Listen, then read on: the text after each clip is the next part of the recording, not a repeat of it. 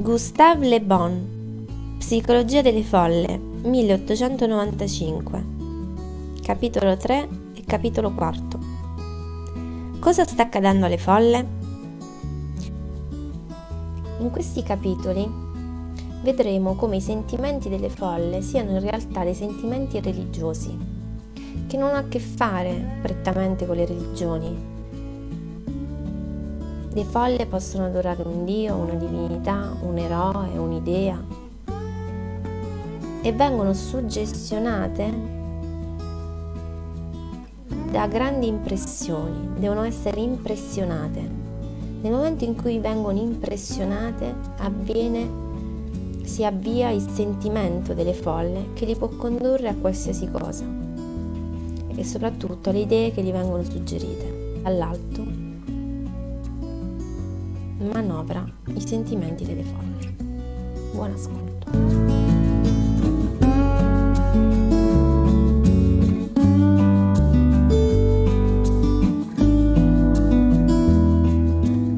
Capitolo 3 Idee, ragionamenti e immaginazioni delle folle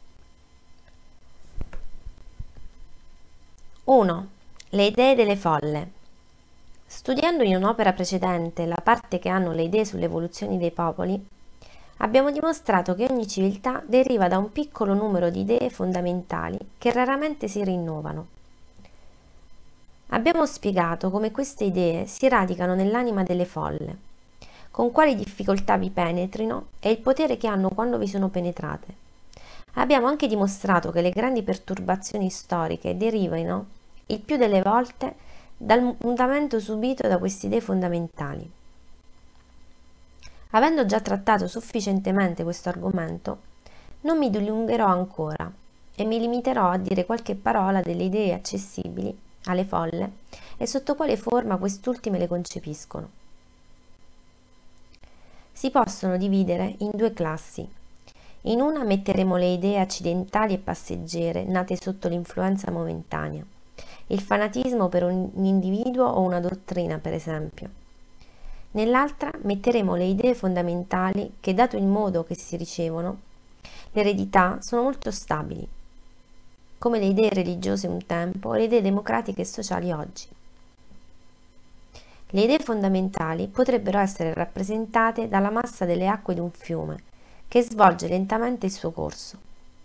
Le idee passeggere dalle piccole onde, sempre mutevoli, che agitano la sua superficie e che sebbene non abbiano una reale importanza, sono più visibili del cammino stesso del fiume.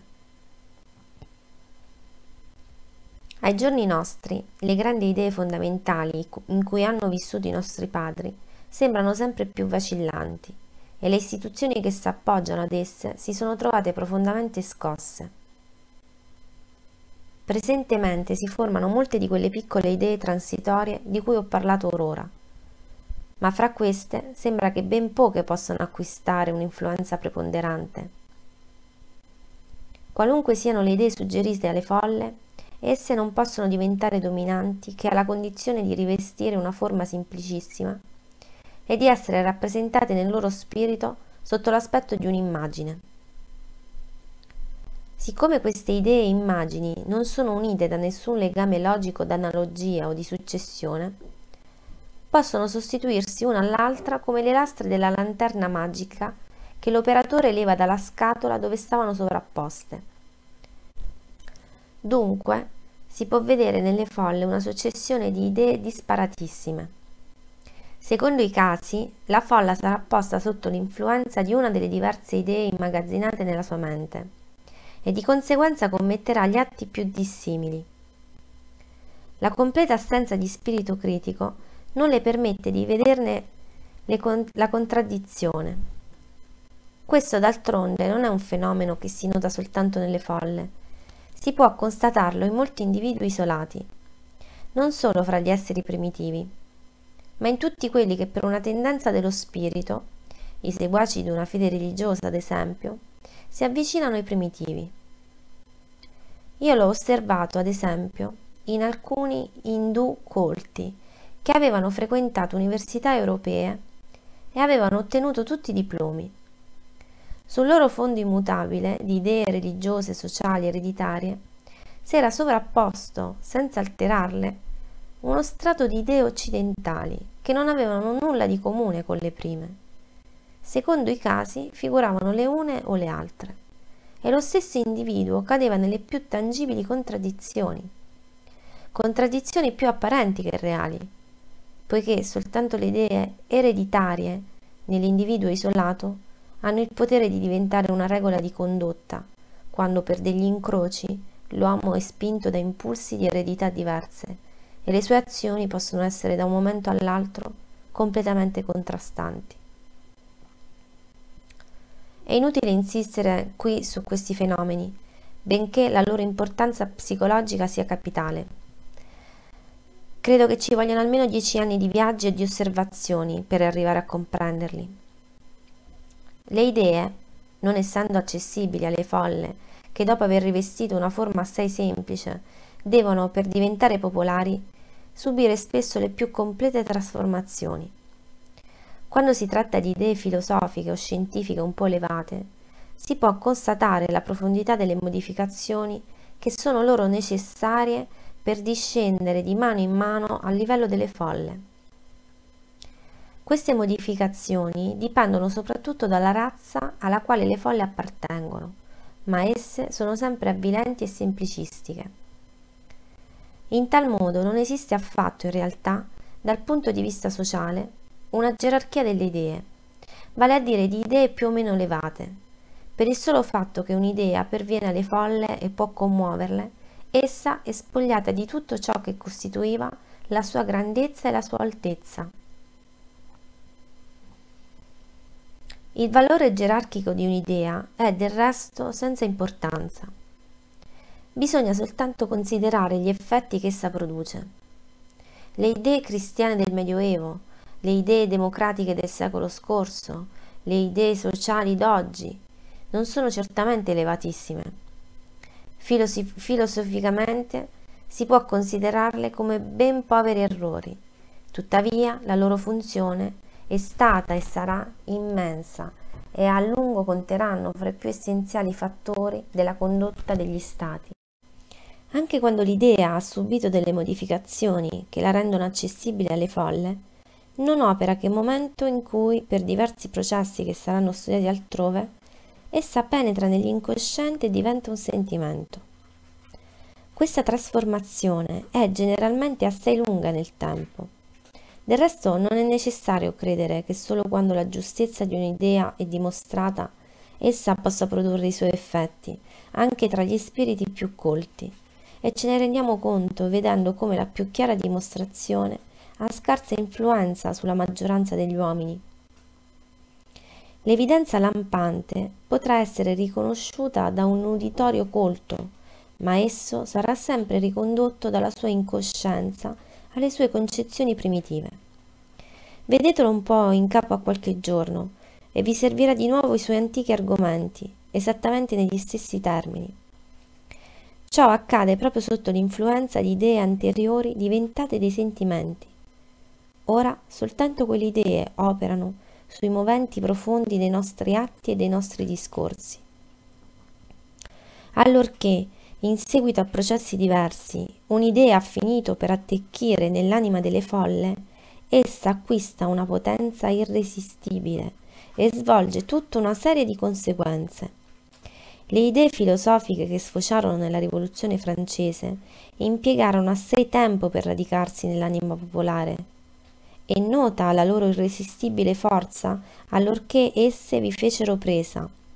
Lo slancio di tutto un popolo verso la conquista dell'uguaglianza sociale, verso la realizzazione di diritti astratti e di libertà ideali, fece vacillare tutti i troni e sconvolse profondamente tutto il mondo occidentale. Per vent'anni i popoli si precipitarono gli uni sugli altri e l'Europa conobbe ecatombi paragonabili a quelle di Genghis Khan e di Tamertano. Mai era apparso tanto chiaramente quel che può produrre lo scatenarsi di idee capaci di cambiare l'orientamento dei sentimenti. Se assai tempo occorre alle idee per stabilirsi nell'anima delle folle, un tempo non meno considerevole è necessario per uscirne, di modo che le folle sono sempre, dal punto di vista delle idee, in ritardo di parecchie generazioni rispetto ai sapienti e ai filosofi. Tutti gli uomini di Stato sanno oggi quel che di erroneo contengono le idee fondamentali or ora citate ma essendo la loro influenza ancora potentissima, sono costretti a governare seguendo principi alla cui verità essi hanno cessato di credere. 2. I ragionamenti delle folle. Si può dire in modo assoluto che le folle non sono influenzabili con ragionamenti, ma gli argomenti che esse impiegano e quelli che agiscono su di esse appariscono dal punto di vista logico, di un ordine talmente inferiore che solo per via di analogia si può qualificarli come ragionamenti. I ragionamenti inferiori delle folle sono, come i ragionamenti elevati, basati su associazioni. Ma le idee associate delle folle non hanno tra di loro che legami apparenti di rassomiglianza e di successione, e si legano nello stesso modo di quelle di un eschimese, il quale, sapendo per esperienza che il ghiaccio corpo trasparente si fonde in bocca, ne conclude che il vetro, corpo ugualmente trasparente, deve anch'esso fondersi in bocca. O di quelle di un selvaggio, il quale immagina che mangiando il cuore di un nemico coraggioso, egli acquista il suo coraggio, o ancora di quelle dell'operaio che, sfruttato da un padrone, ne conclude che tutti i padroni sono sfruttatori.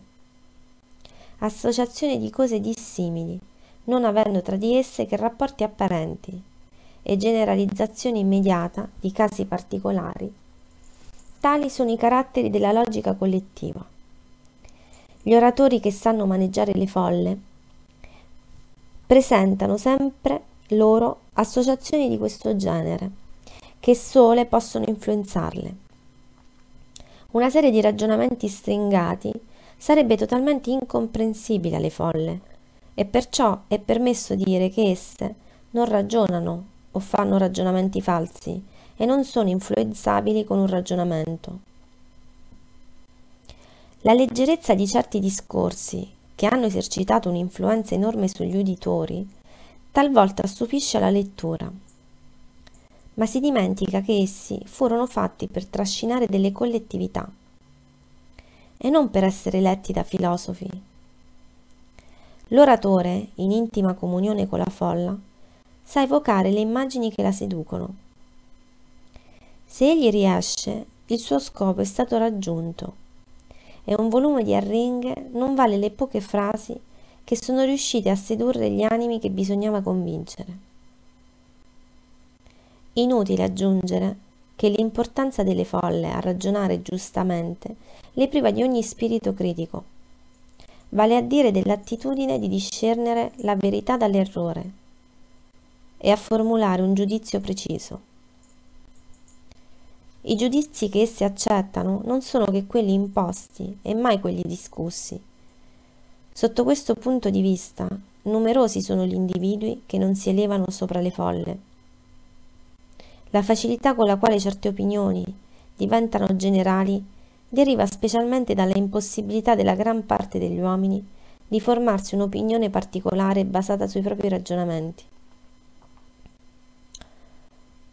3. L'immaginazione delle folle. L'immaginazione delle folle, come quella di tutti gli esseri in cui non interviene il ragionamento, è suscettibile di profonde impressioni. Le immagini evocate nel loro spirito da un personaggio, un fatto, un incidente, hanno quasi la vivezza delle cose reali. Le folle sono un po' come un dormiente, in cui la ragione è momentaneamente annullata e vede sorgere nel suo spirito delle immagini di un'intensità estrema, ma che si dissipano subito appena vengono a contatto con la riflessione. Le folle, essendo incapaci di riflettere e di ragionare, non conoscono l'inverosimile. Ora, le cose più inverosimili sono generalmente quelle che colpiscono di più. Per questo le folle sono impressionate maggiormente da ciò che c'è di meraviglioso e di leggendario negli avvenimenti. Il meraviglioso e il leggendario sono in realtà i veri sostegni delle civiltà. Nella storia l'apparenza ha sempre avuto più importanza della realtà. L'irreale predomina sul reale. Per questo le folle sono impressionate maggiormente da ciò che c'è di meraviglioso e di leggendario negli avvenimenti. Il meraviglioso e il leggendario sono in realtà i veri sostegni delle civiltà. Nella storia, l'apparenza ha sempre avuto più importanza della realtà. L'irreale predomina sul reale. Le folle, non potendo pensare che per immagini, non si lasciano impressionare che dalle immagini. Soltanto queste ultime le spaventano o le entusiasmano e regolano i loro atti. Questa è la ragione per cui le rappresentazioni teatrali, che danno l'immagine sotto la forma più precisa, hanno sempre un'enorme influenza sulle folle Pane e spettacoli costituivano un tempo, per la plebe romana, l'ideale di felicità. Durante il succedersi dell'età, questo ideale ha subito poche variazioni. Non c'è nulla che colpisca l'immaginazione popolare come una rappresentazione teatrale. Tutta la sala prova nello stesso momento le stesse emozioni e quest'ultime non si trasformano subito in azioni soltanto perché anche lo spettatore più incosciente non può ignorare d'essere vittima di illusioni ed aver riso o pianto per avventure immaginarie. Tuttavia, qualche volta i sentimenti suggeriti dalle immagini sono abbastanza forti da tendere, con le suggestioni solite, a trasformarsi in azioni. Si è spesso raccontato di quel teatro popolare drammatico costretto a far proteggere all'uscita l'attore che rappresentava il traditore, per sottrarlo alle violenze degli spettatori indignati dei suoi delitti immaginari. Io credo che sia qui uno dei più notevoli indizi dello stato mentale delle folle e soprattutto della facilità con cui si suggestionano. Ai loro occhi l'irreale ha quasi la stessa importanza della realtà. Le folle hanno un'evidente tendenza a non differenziarli. La potenza dei conquistatori e la forza degli stati è fondata sull'immaginazione popolare. Tutti i grandi fatti storici, la creazione del buddismo, del cristianesimo, dell'islamismo, la riforma, la rivoluzione e ai nostri tempi la minacciosa invasione del socialismo, sono le conseguenze dirette e lontane di forti impressioni prodotte sull'immaginazione delle folle. Tutti i grandi uomini di Stato, di tutte le età e di tutti i paesi, compresi i, des- i despoti più assoluti, hanno considerato l'immaginazione popolare come il sostegno della loro potenza. Non hanno mai cercato di governare contrariandola. Facendomi cattolico, diceva Napoleone al Consiglio di Stato, ho terminato la guerra della Vandea.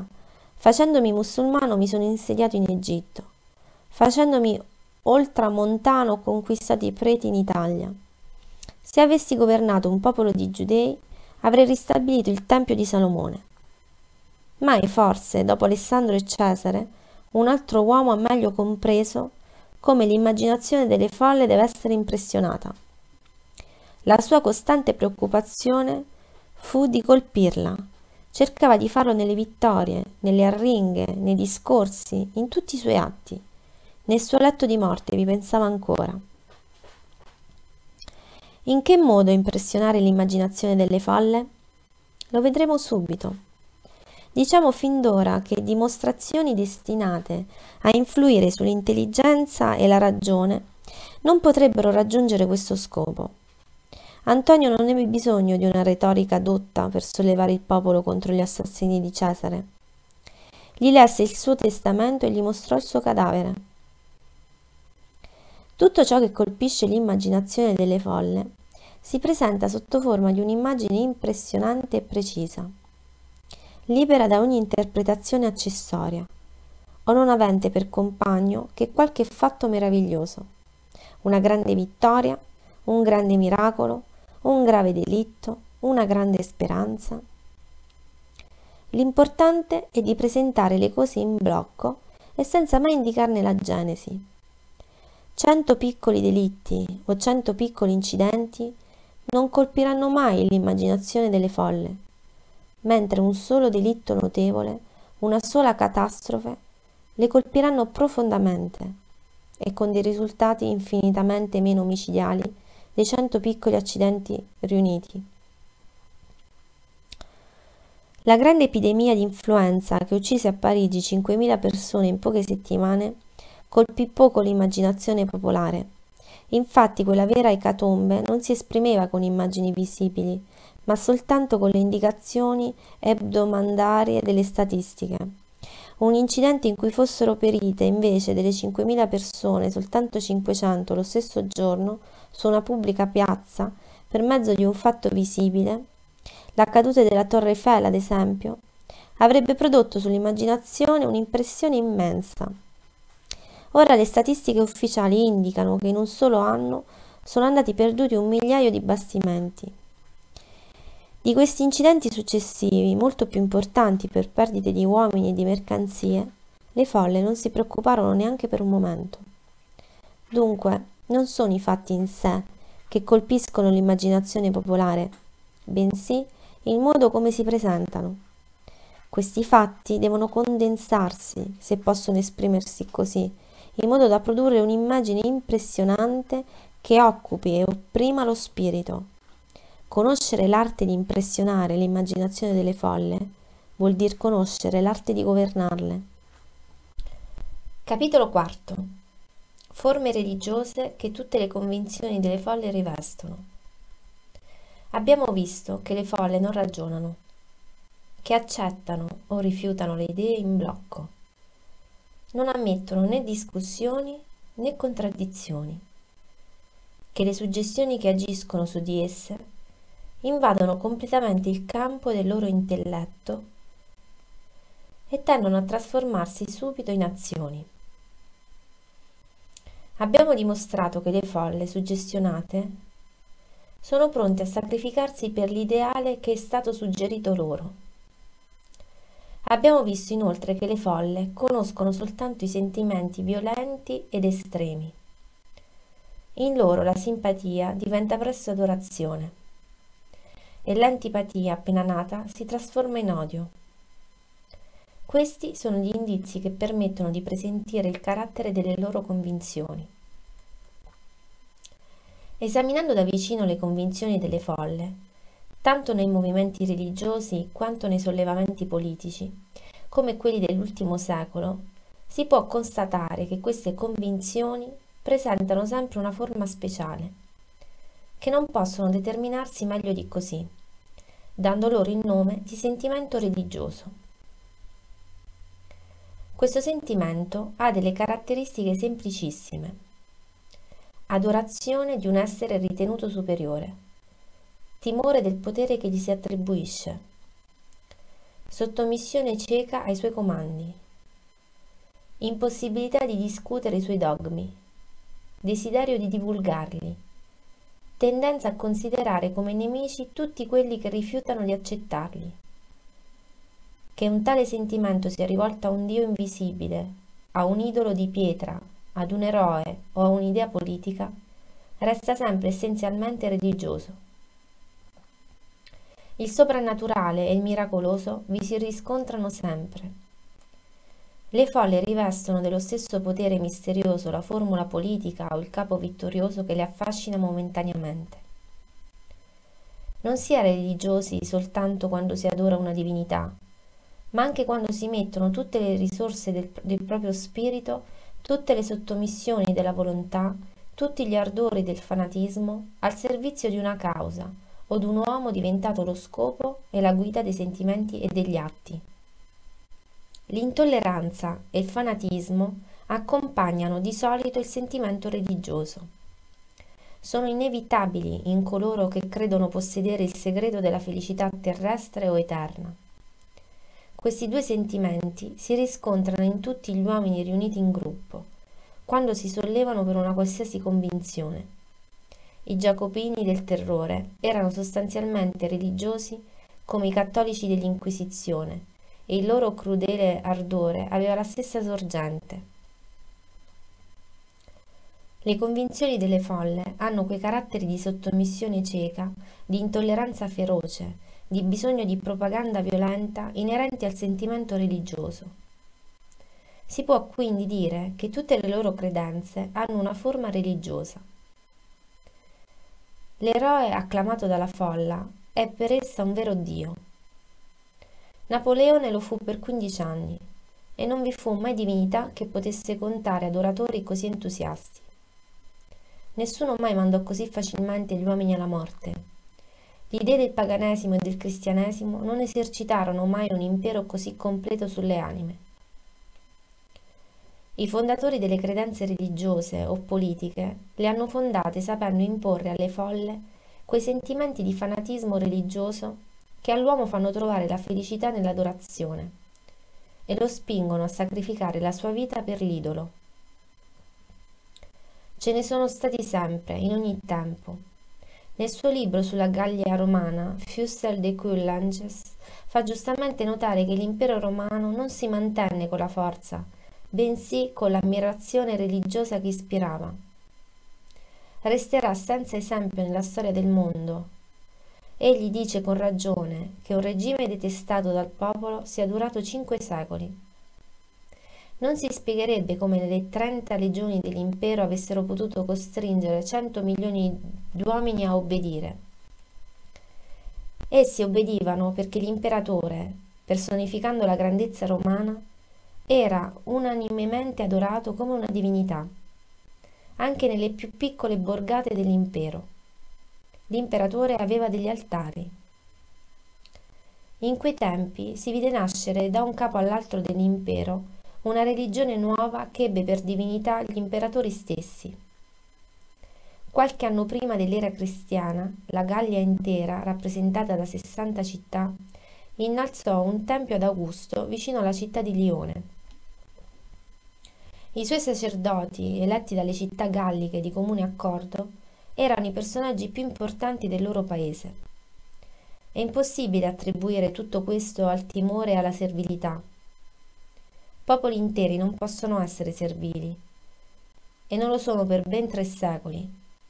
Non erano i cortigiani che adoravano il principe, era tutta Roma.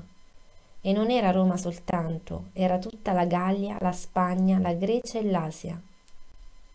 Oggi la maggior parte dei conquistatori d'anime non hanno più altari, ma hanno statue o immagini, e il culto che si ha per loro non è molto diverso da quello di un tempo.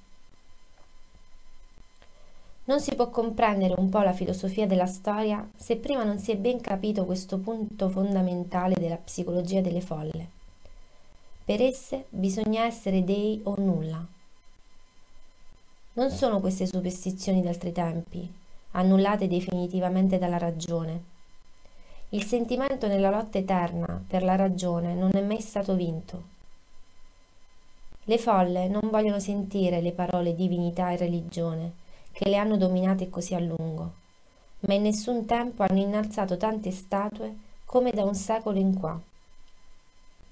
Il movimento popolare, conosciuto sotto il nome di bullangismo, dimostrò con quanta facilità gli istinti religiosi delle folle siano pronti a rinascere. Non c'è albergo di paese che non possegga il ritratto dell'eroe. Gli si attribuiva il potere di rimediare a tutte le ingiustizie, a tutti i mali, e migliaia di uomini avrebbero dato la vita per lui. Che posto avrebbe conquistato nella storia se il suo carattere avesse potuto sostenere la leggenda? È inutile banalità ripetere che alle folle è necessaria una religione. Le credenze politiche, divine e sociali si radicano nelle folle soltanto quando rivestono forma religiosa, che le mette al sicuro da ogni discussione. L'ateismo, se fosse possibile farlo accettare alle folle, avrebbe tutto l'ardore intollerante di un sentimento religioso e nelle sue forme esteriori diventerebbe presto un culto. L'evoluzione della piccola setta positiva ce ne fornì una prova curiosa. Rassomiglia a quel nichilista di cui il profondo Dostoevsky ci narra la storia. Un giorno, illuminato dalla voce della ragione, strappò le immagini della divinità e dei santi che adornavano l'altare della sua piccola cappella, spense i ceri e senza perder tempo sostituì le immagini distrutte con le opere di filosofi atei e poi riaccese devotamente i ceri. L'oggetto della sua fede religiosa era cambiato, ma si può egualmente dire che erano cambiati i suoi sentimenti religiosi? Non si possono ben capire, lo ripeto, certi avvenimenti storici, e precisamente i più importanti, se non ci si è reso conto della forma religiosa che sempre rivestono le opinioni delle folle. Molti fenomeni sociali dovrebbero essere studiati da uno psicologo invece che da un naturalista. Il grande storico Taine ha esaminato la rivoluzione soltanto da naturalista, di modo che la genesi degli avvenimenti spesso gli è sfuggita. Egli ha osservato con esattezza i fatti, ma non conoscendo bene la psicologia delle folle, il celebre scrittore non ha sempre saputo risalire alle cause. Essendo rimasto spaventato dal lato sanguinario, anarchico e feroce dei fatti, non ha visto negli eroi della grande epopea che un'onda di selvaggi epilettici abbandonati senza ritegno ai loro istinti.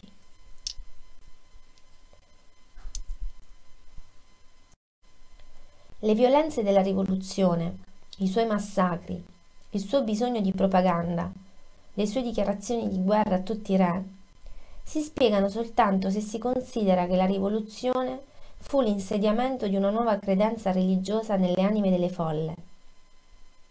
La riforma, la notte di San Bartolomeo, le guerre di religione, l'inquisizione, il terrore sono fenomeni di identico ordine nati sotto la suggestione di quei sentimenti religiosi che conducono necessariamente a estirpare, col ferro e col fuoco, tutto quello che si oppone al propagarsi della nuova fede. I metodi dell'inquisizione e del terrore sono quelli adoperati dai veri convinti. Non sarebbero convinti se ne avessero adoperati altri. Gli sconvolgimenti simili a quelli che ho citato sono possibili soltanto quando l'anima delle folle li provoca. I più prepotenti despoti sarebbero incapaci di scatenarli. Gli storici, quali dicono che la notte di San Bartolomeo è opera di un re, non conoscono la psicologia delle folle e neanche quella dei re. Simili manifestazioni non possono uscire che dall'anima popolare. Il potere più assoluto del più dispotico monarca non può che ritardarne o avvicinarne il momento. I re non hanno affatto non hanno fatto la notte di San Bartolomeo, né le guerre di religione, e né Robespierre, né Danton, né Saint-Just fecero il terrore. Dietro a simili avvenimenti c'è sempre l'anima delle folle. Grazie per l'ascolto e alla prossima.